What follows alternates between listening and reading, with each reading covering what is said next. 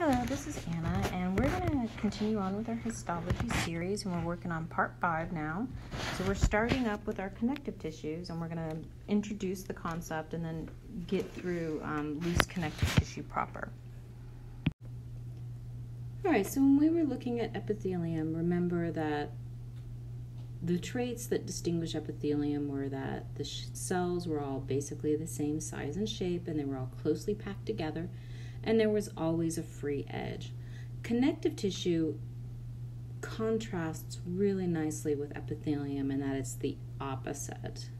All right, the cells are widely spaced. They are not typically next to each other, they're not touching each other, holding hands, or anything like that.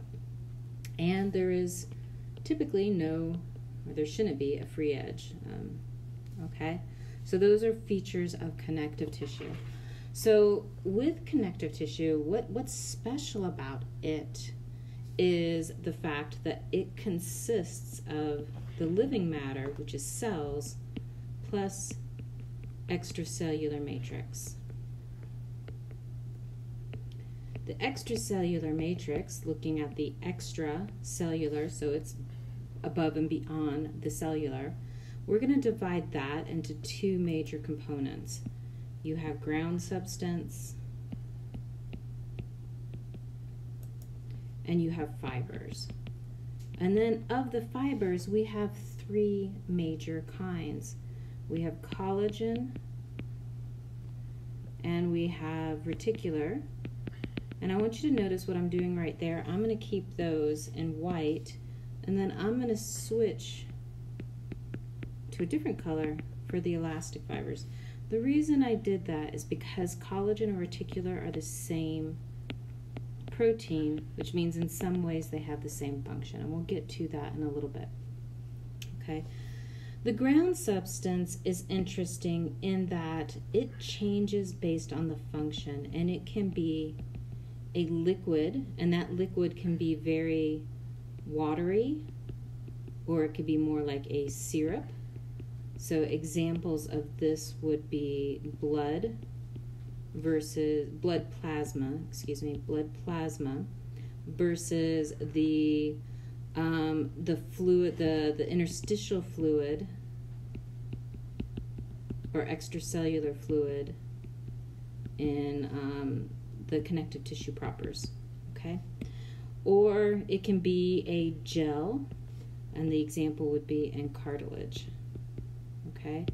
Or it can be a mineral, and the example is in bone, okay? Now that brings us to the point where we can talk about the four major classes of connective tissue. Okay, and I'm going to start using that as my abbreviation. First of all, we have connective tissue proper. Okay. Um, please don't call this fibrous tissue. Um, I'm going to put a note here. I don't like how it's described in the Saladin book. I think it's confusing and I don't want you to use it. I want you to use what I'm explaining. Okay? So you've got connective tissue proper, and my abbreviation for that is CTP. That's a P, not a D. All right, the next major category is cartilage. And then you've got bone, okay? And then you've got lymph and blood. Now I want you to notice something here. I want you to notice how these basically correspond to the ground substance. All right, you change the ground substance, it really changes functionally what this tissue does. And then to further change it for the different types of, say, cartilage versus connective tissue proper, you would change up the fibers or the cell types. All right, so Cartilage, bone, lymph, and blood are kind of easy to separate out, okay? connective tissue proper it's like how do you define it? Well it's not cartilage bone lymph or blood. It's going to have a li- liquid background but its fibers are going to be present okay? So fibers are soluble whereas in bone and excuse me blood and lymph fibers are dissolved. Oh i just messed that up. Fibers are insoluble and in blood and lymph the fibers are dissolved which means they are soluble. Okay so that is a major difference between those two. So you kind of have to do a kind of a compare and contrast now in my note slides i list the basic functions of connective tissue insulation transportation bind support storage protection it's on the slide, but I don't actually want you to memorize that because what I want you to memorize instead is the specific functions of each specific type of connective tissue. So I'm not even going to write down the general definition of connective tissue for that reason. Okay? Um, now, let's kind of start focusing in. Um, Actually, let's let's talk about the extracellular matrix a little bit more. So I was talking up here about the fibers, okay? And we're just going to kind of erase some of this so that I've got a little bit more room to work. Okay. The ground, um, so I said that these were the same protein, okay? Um, I'm not asking you to memorize that they're the same protein, but because of they're the same protein, they can both resist tension. Okay? Collagen's big function is going to be resist tension. Reticular can resist tension, but it's weak resist tension because reticular fibers are like as thin as spider silk All right, Super, super thin, whereas collagen fibers are thicker, okay? And they're more noticeable, okay?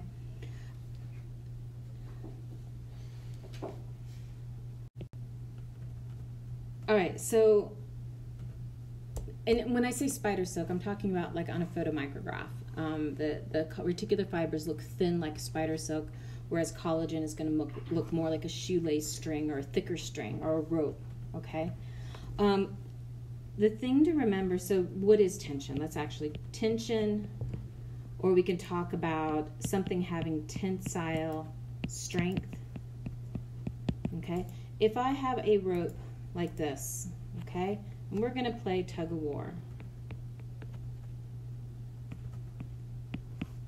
okay one person is going to pull this way one person is going to pull that way and they're just going to tug it back and forth the rope does not break so it resists tension because it has high tensile strength. That is illegible.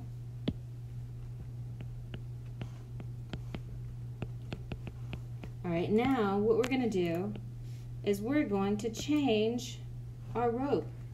And now our rope is going to be made out of gum. And we got our people, and we got our person, and they're going to pull it apart. And what's going to happen is when they start tugging, it's going to break in the middle because gum has low tensile strength, whereas a rope has high tensile strength, so it resists tension. So tension is the same idea pulling apart. Now here I want you to be very, very careful. I'm going to come over here and then I'll go back in a minute. We've got a word in the English language that we like to use called stretch. I would like you to erase it from your vocabulary and not use it in this class ever, okay? The reason is we use the word stretch in English very sloppily. so that sometimes we use it to mean the exact opposite of how we use it in another situation. When I have a rope and I am pulling either side, I am not stretching it. I am pulling, so I'm dealing with tension, okay? If I have a rubber band, okay, so it's like this, and we're gonna pull this way and this way, okay? Now, this rubber band is then gonna go like this, and it's gonna be fairly straight. When it bounces back, so it goes from here to here, and then it's going to go from here to here, so that it goes back to its normal shape.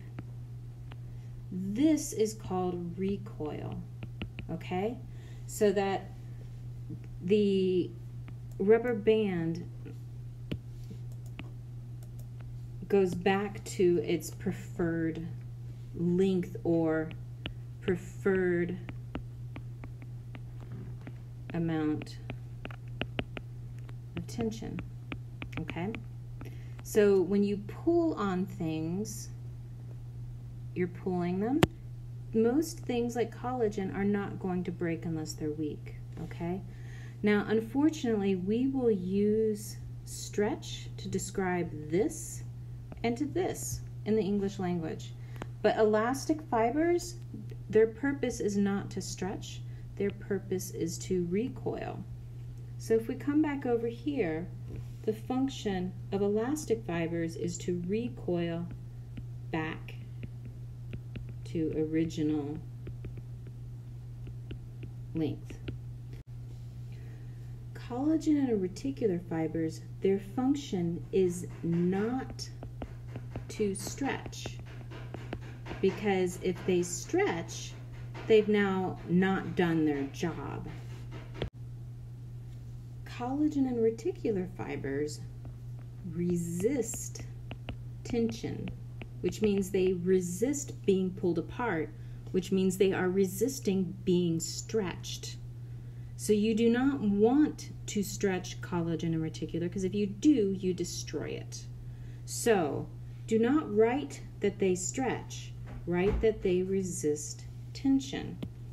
Elastic fibers, we don't really care that they have stretched. What we care is that they go back to their original shape. So they recoil back to original. All right, now let's differentiate the collagen and the reticular. So as I said, they both resist tension.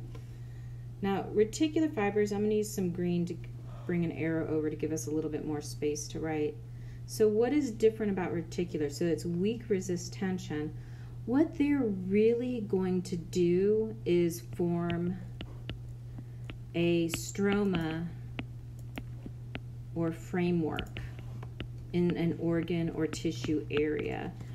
Um, and this stroma or framework um, provides um, structure for other cells. So these cells are basically going to be hanging out in and around those reticular fibers. So they basically help to kind of form the. So if you think of a house and the house has uh, wooden beams between the walls, the reticular fibers are more like the wooden beams that are forming the frame of the house. Okay? All right. I think we've hit on those fibers sufficiently. Let's talk a little bit more about the ground substance now. So we're going to come over here and we're going to kind of talk about the function and what it's made of. So I'll just put made of. Okay. So that ground substance, it can be a semi-liquid or it can be a gel or it can be a mineral. Okay. Um, it's going to consist of obviously of water because everything has water in it. Um, it's going to have proteins in it. It'll have cells in it. Um, and then the fibers, the cells and the fibers, let me specify that. The cells and the fibers float or exist within the ground substance. So the ground substance is like the swimming pool all right, the functions of ground substance. Well, the function is going to change. depending on what type of ground substance you are using. We'll talk more about the function of the ground substance with each different type of connective tissue as we get into them. Let's summarize quickly the cells that are present in connective tissue proper. First, let's do some definitions. We have three suffixes that tell you functionally what a cell is doing. I consider blast cells beginner cells or maker cells. Cyte means cell, and it's the mature functional cell. Clast is chaos or destruction cells. So I can take uh, any root word for a cell, with a few exceptions, and put these on the end and it changes the name. So fibroblast is a maker of fibers cell. Now we don't really talk about fibrocytes or fibroclasts. Then I have chondroblast. Chondro means cartilage. So this is a maker of cartilage cells. Okay? And then we've got um, osteoblast, osteocyte, osteoclast. So, osteoblasts make bone, osteocyte is the mature bone cell, osteoclasts destroy bone. Okay? Um, generally, this works out just fine, and and and all of these works, these cell names work together. We do have one exception for blood. So you have the hematopoietic stem cell. And you're like, really? Why is it called that when everything else is called something else? It just is. And this makes red blood cells, white blood cells, and your um, uh, platelet cells. Okay? All right. So the different cells that you're going to find that you need to remember, you've got um, adipocytes. Okay? Adipose means fat or lipid. So these are your fat cells. All right, something to keep in mind adipose tissue is not the same thing as adipocyte. So the adipocyte is the actual cell, the adipose tissue is the entire tissue, okay? Then you got like your white blood cells, which are also called leukocytes. And they the reason i'm bringing this up is because we'll be looking at those in a little bit.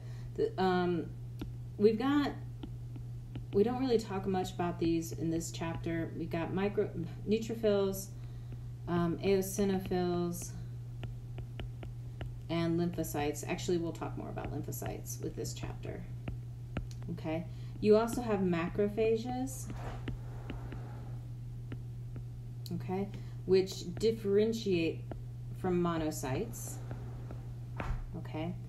And then you have mast cells, which are differentiating from basophils. All right, and then, well, you might come across this word plasma cell, which is a type of B cell, which is a type of lymphocyte. Okay and we'll be finding all of these within the the connective tissues, including the osteocytes, the fibroblasts, the chondroblasts, the chondrocytes. Okay. All right. Now we're starting to get into some of the meat and we're of this topic, and we're going to start talking about the different types of connective tissues. We're going to start with connective tissue proper. Okay. Now, connective tissue proper is defined by its ground substance. And its ground substance is a liquid with fibers and cells in it. What's important about this ground substance is what it can do functionally, okay? Functionally, it is a liquid background that is like a swimming pool that everything else floats in. Okay? So everything is floating in it. But it's also going to be something that things can move and pass or swim through. So I want you to visualize a swimming pool. And then I want you to visualize somebody throwing a bunch of pool noodles in it. Those are your fibers. And then I want you to visualize people throwing in rings and other little toys. And those are your cells. Okay? Now, let's say some of those toys are wind up toys and they can move through the water. Okay? So those particular toys we can think of as nutrients or gases, and they can move from one side of the pool to the other because it is a liquid background that it can essentially swim through. Okay, so it's a pass through, a swim through. Sometimes people describe it as a sieve that kind of filters out particles. Um, don't like using the word filter because then it gets mixed up with the concept of filtration, which is different. Um, so the ground substance is key. The connective tissue propers have the potential for having all three fiber types, so collagen, reticular, and elastic. And what you're going to do is change the types of fibers that are present, either the quantities or you might um, re- reduce the presence of one or two completely. So, like you might increase the number of collagen and decrease the elastic, or increase the elastic and get rid of the reticular.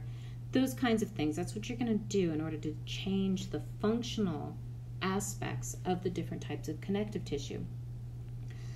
Now, before we get into loose and dense, I want to briefly mention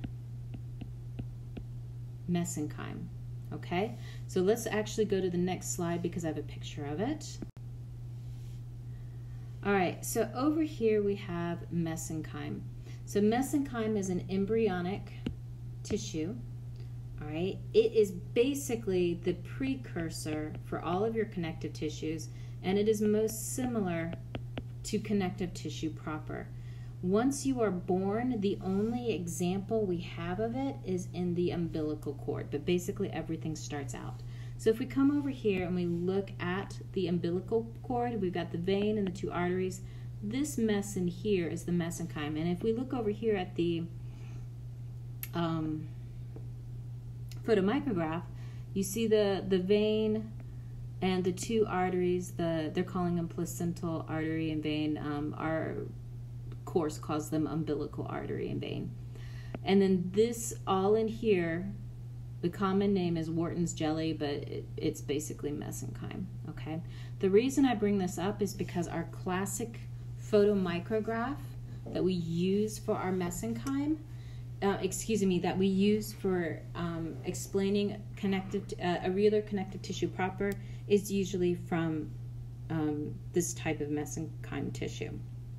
Okay, so let's bring up the blackboard again so that we can talk about loose versus dense connective tissue.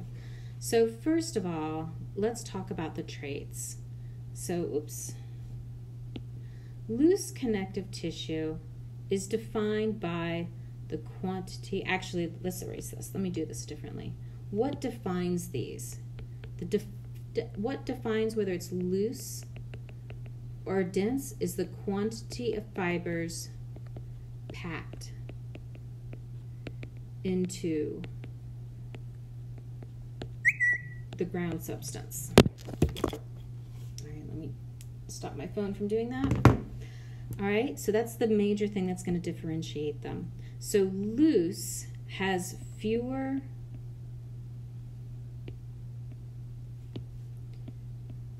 fewer fibers and more ground substance. In contrast, dense has more fibers and less ground substance. Okay? We have three categories, three types of loose and three types of dense. Okay? So for our loose, ugh, for our loose, the most classic is areolar connective tissue proper. Okay, and again, I do not want you calling these fibrous tissues like the book does. That gets confusing because of the way we use fibrous to describe fascia and the way it gets overgeneralized to dense irregular and dense regular in the body, the way we use it in physical therapy, occupational therapy.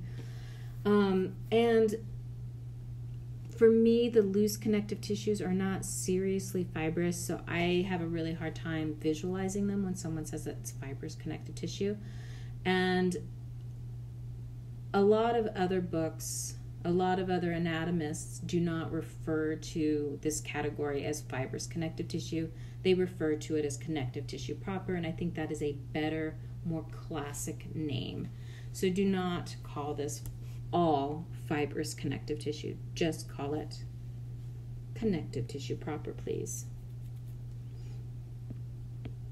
So I'll just write over here, not fibrous CT for name.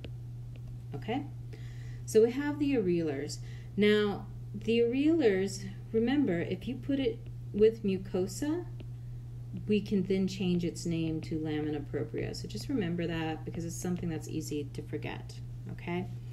Um, some examples of where you would find it. So um, this would be between the epidermis and the thicker layers of the dermis. Okay, so it's the the the papillary layer. All right.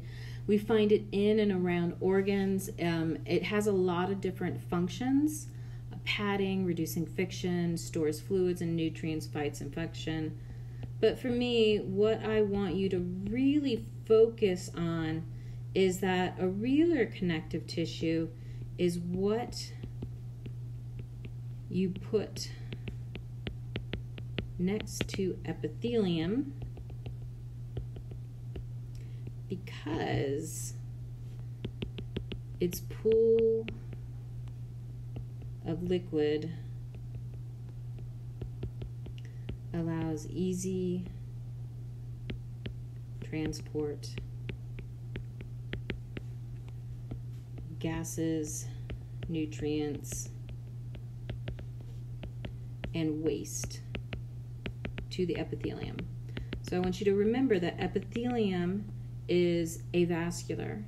Without a areolar connective tissue being right next to it, it would have a hard time getting the things that it needs. All right, it would, wouldn't get oxygen, it wouldn't get its nutrients, it would have no place to put its waste products. You could use another connective tissue there, but remember, a areolar has lots of ground substance. That is its dominant trait. Fewer fibers, more ground substance.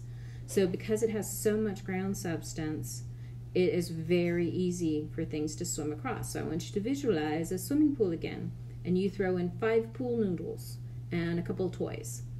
And the wind up toys can very easily move in and around the pool, pool noodles to get to the other side.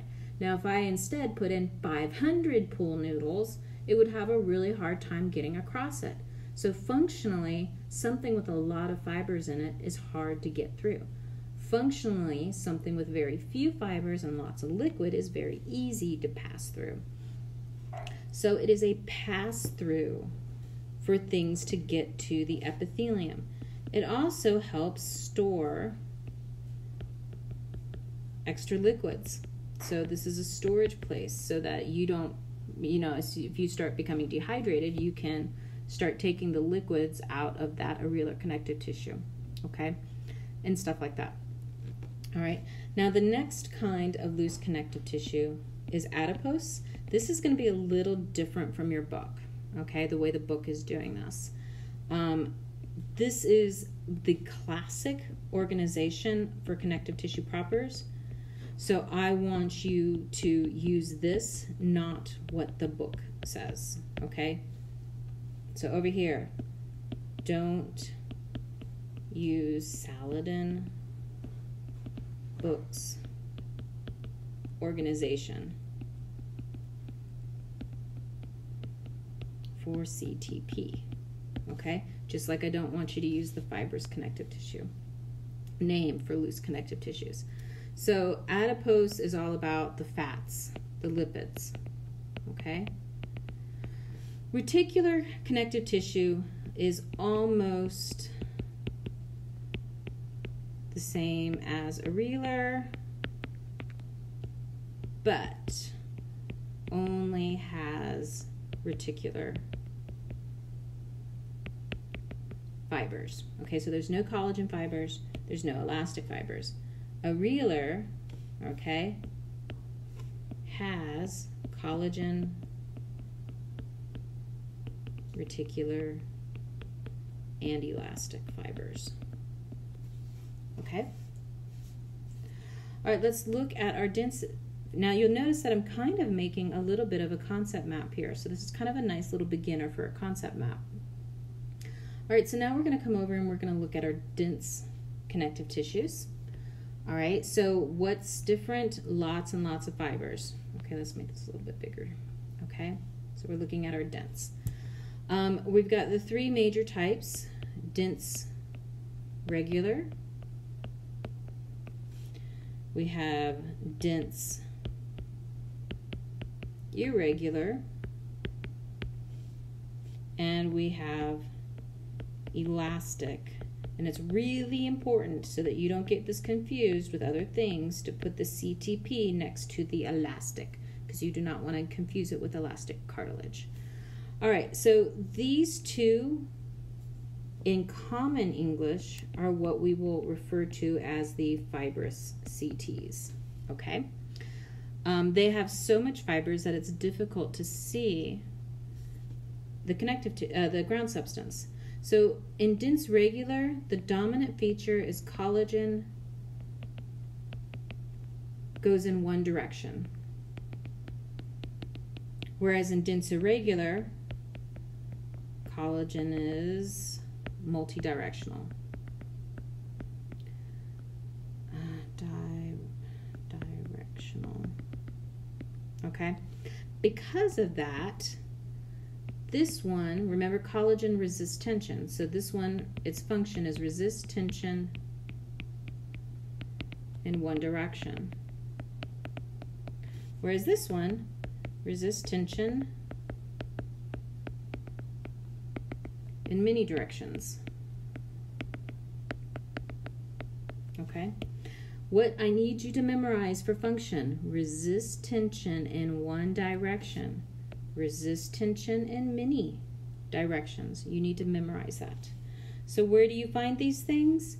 So, some good examples for dense regular would be tendons, ligaments, those sorts of things. Okay? Um, dense irregular, you can find those also sometimes in aponeuroses, um, just like you can find dense regular. One of the things that can be a little confusing with dense regular and irregular is that there are areas where it blends from one to the next, and it might go back and forth, and it might be in different ratios in different people, which is why we will often lump certain areas and just say it's fibrous CT because it's difficult to say whether it's regular or irregular without a microscope. Okay?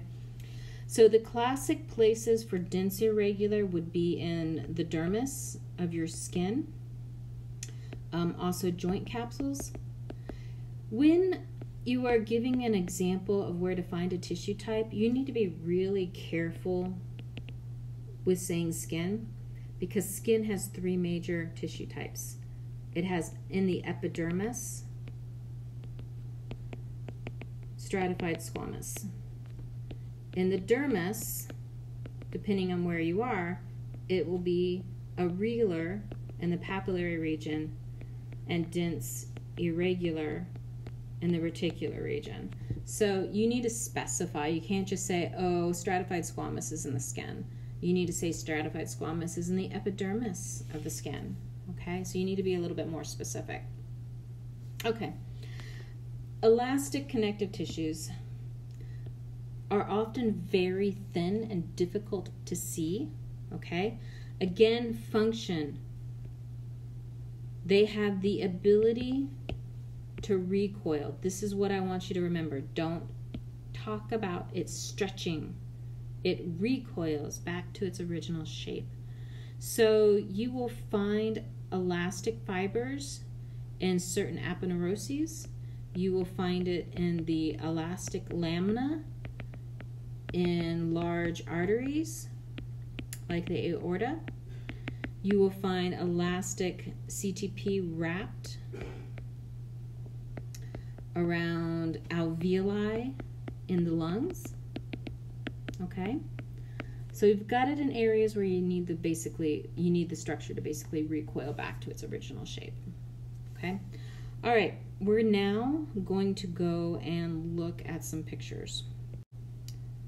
All right, this picture is your classic picture of areolar connective tissue, okay? It is also the picture that we will use to explain the structure of connective tissue. So first of all, connective tissues all have a ground substance. In this case, it's a liquid that everything is floating in. All connective tissues have fibers. So for collagen, I want you to come down and I want you to draw an arrow to right there. That's a collagen fiber. This is a collagen fiber. All right, so those are both collagen fibers. I'm going to change to green to show you the reticular. The reticular is right here. Uh, sorry, that's not the reticular.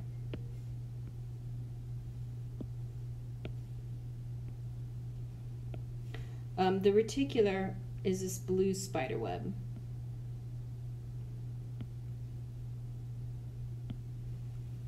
Okay.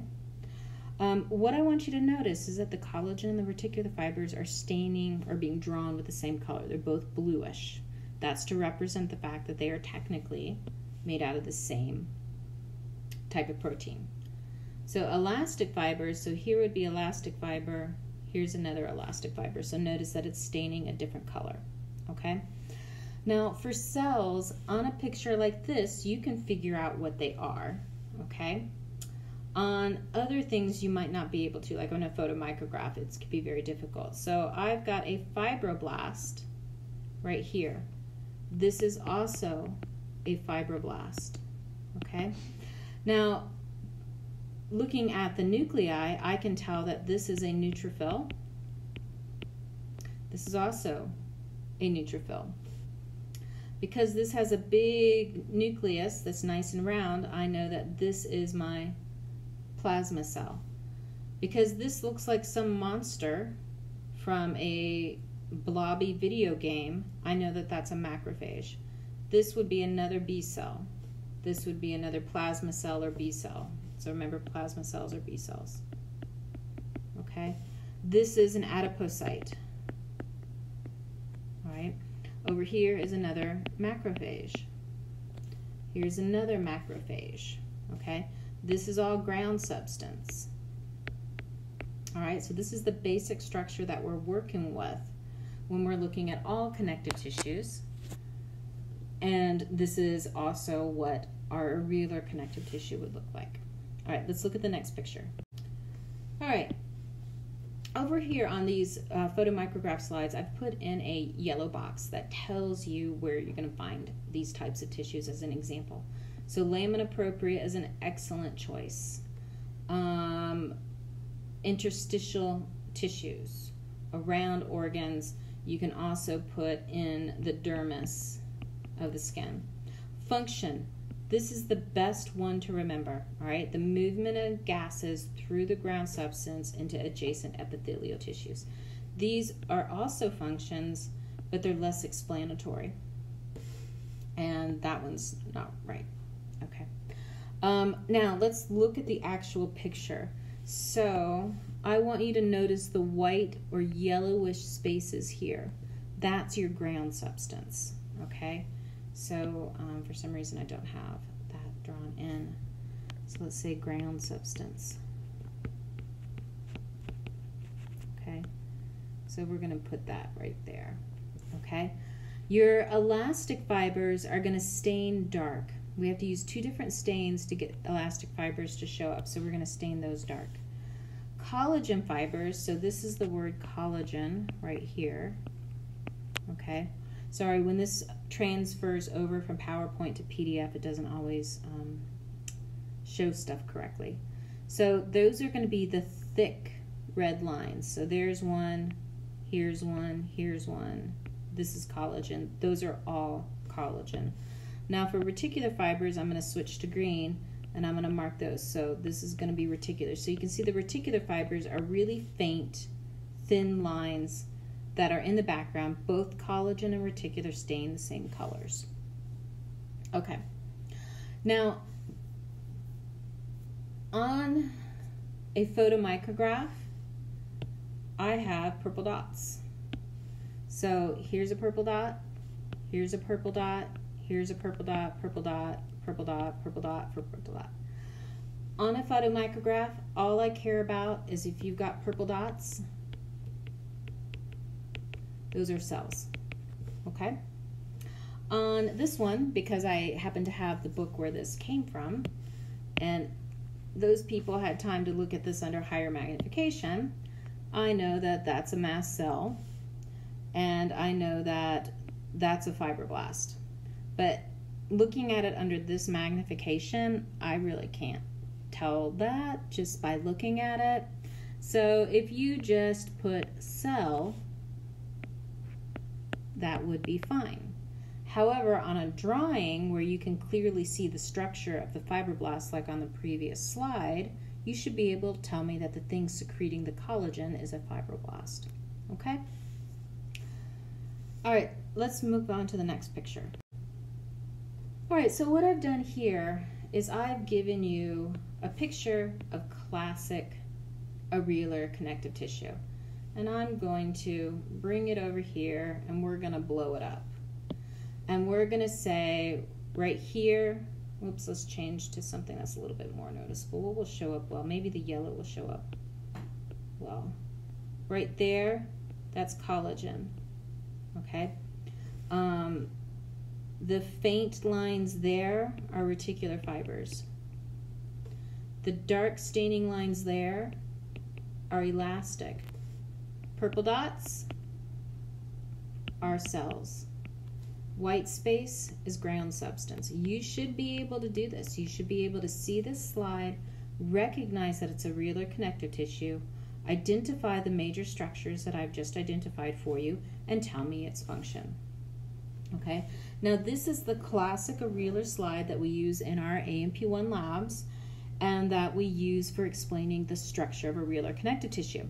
Now, everywhere else in the human body, the areolar connective tissue will never look like that because of the magnification and density of what we use. So let's zoom it out and look at what real areolar connective tissue looks like. This area from here to here and from here basically all the way down to here except for this stuff is areolar connective tissue. And we call this specifically lamina propria because this is in a mucosa, okay? But it is areolar connective tissue proper, okay? Now from basically here down to here, this is also areolar connective tissue proper. How do I tell when it doesn't look like this picture? I tell from context okay? So I'm going to use context. I am next to an epithelium. So this is epithelium, and this is epithelium. That means right next to it is going to be areolar connective tissue, okay? What I can see at this magnification are the pink lines of the collagen fibers. And remember, in areolar, the collagen fibers do not go in one direction, so they're kind of going in different directions. Over here, I can kind of see them kind of doing this business. All right, they're faint, they're difficult to see, but they are there. And then we have the purple dots. So I've got purple dot, purple dot, dot, dot, dot. And then over here, they're more red, but you can see I'm putting some of the dots on. All right, those are the cells that are present. And that's pretty much all I can see. At this magnification, I can't really see the areolar. With the staining they've used, I can't see the elastic fibers. You just have to know that they're there. Okay? But this is what you will see for areolar in the human body. This is what you will see for areolar on the human body. If you have an epithelium, you know there will be at least a thin smear of areolar connective tissue just deep to that epithelium. Okay? Because epithelium is avascular and I need gases, I need oxygen to diffuse from here to the epithelium to keep it alive. All right, let's look at the next picture. All right, adipose tissue. So, again, what does it do? Well, it is padding around organs so that if you get hit in the back, the adipose pad around your kidneys keeps it from getting hurt. Okay? It obviously is storing the fat, which means it's also storing fat energy, lipid energy. Now, if we look at the cell, this is one adipocyte. I do have fibers. I'm going to show the fibers. The fibers are squished in between the cells. This is considered loose because the fibers are spread far apart. So this is where you're going to find all the fibers. Then I've got a dot and a dot, a dot, dot. These dots are the nuclei. Sometimes you don't see them in the cell because the way the tissue's been cut, it's been cut out, but you'll see they're really tiny and everything else inside is lipids. Okay, let's look at the last slide for this section. All right, this is reticular connective tissue proper. Now, what I want you to pay attention to is the fact that I wrote in here high power. This is really high magnification. It is really high magnification so that you can see the reticular fibers. So everything that I'm going over in yellow, these are all reticular fibers. And they are forming the stroma, all right, of this particular tissue or organ. So it forms the internal stroma of the organ. Okay. And then I've got purple dots. So here's a purple dot, purple dot, purple dot, purple dot. I can tell by just looking at them that some of them are lymphocytes and some of them are fibroblasts, but I'm not going to ask you to differentiate them. So if you could just remember that all the purple dots are cells, and most of these are going to be either fibroblasts or lymphocytes. But you can also find the occasional macrophage. And in the spleen, you will see red dots, and those red dots are red blood cells. Okay? Now, with reticular connective tissue proper, it is really difficult to to see the fibers unless it's at high magnification. So when we look at it at lower magnification, you're just going to see lines and you're going to kind of need to know the context. You're going to need to know what the organ is in order to really know what you're looking at. Okay? But a trademark of reticular fibers is going to be a high percentage of cells. So they tend to really pack in a lot of fibroblasts, lymphocytes, and other cells wherever there is reticular connective tissue. And it's not unusual to have a thick wedge of areolar CTP, and then you have a little circle that looks really, really dense, and that's actually reticular connective tissue with a high density of lymphocytes in it. Okay? All right. Um, oh, the other thing with reticular is okay, focus on this only reticular fibers. So there are no collagen fibers and there are no elastic fibers. Okay. All right, I think that was a pretty long slideshow. Um, so we're gonna stop right there and you can go take a break and then come back for the next um, video on the dense connective tissues, which will be shorter.